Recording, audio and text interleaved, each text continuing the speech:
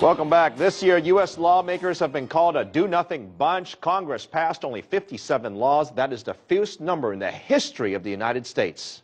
Bianca Davy looks at what they did and what they didn't do for the U.S. economy. When it comes to New Year's resolutions, Washington lawmakers actually seem a lot like the average Americans they represent. But instead of pledges to eat better or work out more, they try to achieve elusive goals like this. So let's set party interests aside and work to pass a budget that replaces reckless cuts with smart savings and wise investments in our future. And let's do it without the brinksmanship that stresses consumers and scares off investors. But once the snow has cleared and all those famous Washington cherry blossoms have bloomed, all hopes of working together seem to fade away. But even with limited action on Capitol Hill, the U.S. economy started showing new signs of life in the first half of 2013.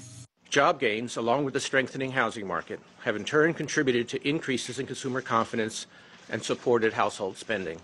Meanwhile, the Federal Reserve continued pumping $85 billion a month into the financial system. But when Chairman Ben Bernanke signaled the stimulus could be ending soon, it sent markets into a frenzy. Bernanke's imminent departure from the Fed and speculation about who would replace him caused a stir too. But with autumn in the air, focus on the central bank took a back seat. A heated battle over the budget and President Barack Obama's signature health care law was brewing on Capitol Hill.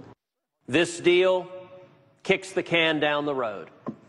It allows yet more debt, more deficits, more spending, and it does absolutely nothing to provide relief for the millions of Americans who are hurting because of Obamacare. The fight forced a partial government shutdown that left workers and tourists locked out of dozens of museums and offices. The world's largest economy also came uncomfortably close to defaulting on its debt for the first time ever, making global investors and world leaders incredibly nervous. In the middle of that chaos, President Obama announced his pick for the U.S. Central Bank. He chose the widely favored Fed Vice Chairwoman, Janet Yellen. But can it just continue indefinitely? I mean, if the labor market doesn't improve to the point that you reach your target, how long can this continue? Do you agree that there has to be some point at I, which we return to normal monetary policy? So I would agree that this program cannot continue forever. After a sometimes testy confirmation process, Yellen was approved by that Senate panel. The full Senate is expected to vote in early January. Congress was able to pull off a Christmas miracle of sorts. They managed to strike a deal on a two year spending plan. That means the U.S. will avoid the embarrassment of another government shutdown.